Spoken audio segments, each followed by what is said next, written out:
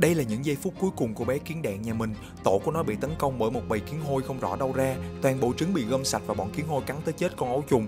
Con chúa đã cố hết sức bảo vệ ấu trùng bằng cách chôn nó dưới nền, nhưng mọi chuyện đã là quá trễ.